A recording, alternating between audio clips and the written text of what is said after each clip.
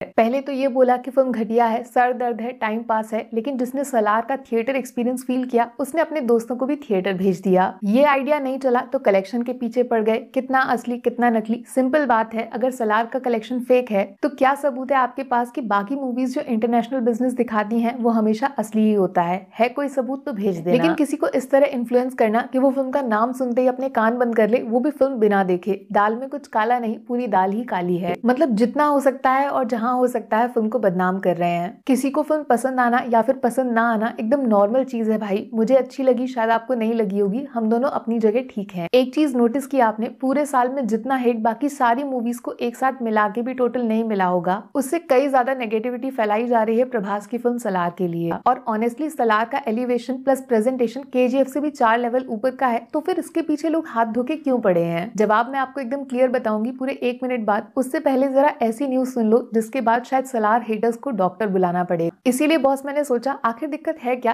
के जैसी मूवीज़ को तो हमने सच्चे दिल से सपोर्ट किया था, पूरे इंडियन सिनेमा का सीईओ बना दिया। सलार एक हाई फाई बड़े स्केल की फ़िल्म है बॉस इसीलिए पैसा पानी की तरह बहाया गया है, जिस वजह से इसका बजट ऑलमोस्ट 400 करोड़ है विद प्रभास की सैलरी तो फिर जरा आपका जनरल नॉलेज जी के दुरुस्त कर देती हूँ, ये बताकर कि सिर्फ़ चार दिनों में सलार ने आपके प्लान फेल कर दिए हैं। ओनली इंडियन मार्केट में 260 करोड़ टच कर लिया है नेट फिगर्स में, जबकि ग्रॉस नंबर में ट्रिपल सेंचुरी कंप्लीट हो चुकी है। बस इतना सुनते ही काफ़ी लोग जश्न मना रहे थे रिलीज़ से पहले कि प्रभास की पिछली तीन चार मूवीज़ को देखकर ये बजट रिकवरी इम्पॉसिबल होगी, मज़ाक उड़ेगा। टोटल सब कुछ जोड़ जाड़ के सलार ने ऐसा रिकॉर्ड बनाया है कि अभी इस वक्त जब आप ये वीडियो देख रहे हो ना लाइव प्रभास की फ़िल्म वर्ल्ड वाइड पाँच सेंचुरी मार चुकी है लगातार, माने पाँच दिन 500 करोड़। सच बोला था प्रशांत नील ने 2023 साल नहीं, सलार होगा। और शॉकिंग चीज़ ये है कि इतनी ज़्यादा नेगेटिविटी प्लस बहुत ही कम नंबर ऑफ़ शोज़ के बावजूद सत्तर करोड़ बिज़नेस हिंदी बेल्ट से आया है नेट बस बस यही तो है वो असली गेम, जिस वजह से चारों तरफ़ सलार के पीछे पड़े हैं लोग हाथ धोकर, किसी भी कीमत पर फ़िल्म को रोकना चाहते हैं। नहीं समझे? डंकी वर्सेस सलार असलियत में ये क्लैश ना तो कंटेंट का था, ना तो स्टार्डम का था और ना ही कलेक्शन का था। असली गेम था स्क्रीन को लेकर। और हैरान करने वाली बात यह है कि 25 दिसंबर, माने क्रिसमस वाले दिन सलार ने हिंदी मार्केट में ऑलमोस्ट 15 करोड़ का बिज़नेस किया। जबकि डंकी शाहरुख खान, द बादशाह की फ़िल्म जो नॉर्थ बेल्ट में काफ़ी बड़े स्केल पे रिलीज़ हुई है, उसने तेईस करोड़ छापे हैं। कुछ समझे आप शोज़ में फ़र्क बहुत बड़ा है, लेकिन कलेक्शन में सिर्फ़ आठ करोड़ का अंतर रह गया। ये बहुत पॉजिटिव सिग्नल है सलार के फ्यूचर के लिए। इससे बहुत बड़ा झटका लगा है बॉलीवुड फ़िल्म इंडस्ट्री को। उनका सिंगल हॉर्स रेस गेम अब ऑफिशियली खत्म हो गया क्योंकि नया घोड़ा रेस में एंट्री मार चुका है। नॉर्थ वर्सेस साउथ का डिबेट जो सिनेमा में हम लोग सोचते हैं कि अब ऑलमोस्ट खत्म हो गया है, वो बॉस पर्दे के पीछे एकदम पीक पे चालू है। बॉलीवुड के सबसे बड़े स्टार की फ़िल्म रिलीज़ होना, सोचो उसी टाइम एक आउटसाइड फ़िल्म इंडस्ट्री का, उसके साथ क्लैश करने की हिम्मत दिखाना। और तो और पब्लिक डिमांड पे थिएटर ओनर्स का, उस फ़िल्म को रिलीज़ करने की जिद करना, जिस वजह से स्क्रीन का नंबर थोड़ा ही सही, लेकिन डिवाइड तो हो गया। अरे थोड़ा पीछे चलो ना